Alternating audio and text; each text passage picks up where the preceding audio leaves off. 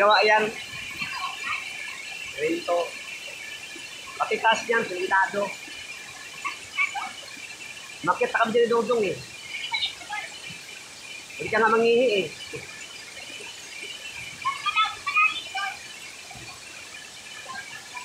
Agas lang siya ng agas. Ito malalim.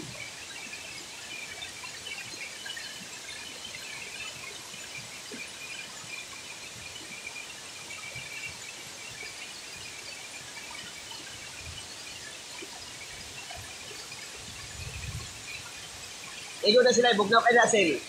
Bugnaw kayo.